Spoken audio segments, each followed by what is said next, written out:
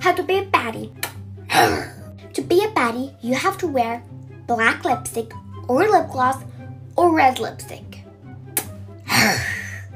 to be a baddie, you have to wear full black and your closet has to be all black. you have to smell good, so put on perfume. If you don't have LED lights in your room or a ring, ring light, then sorry, you're not gonna be a baddie.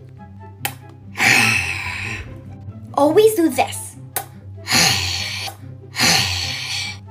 Always growl. And always a moi.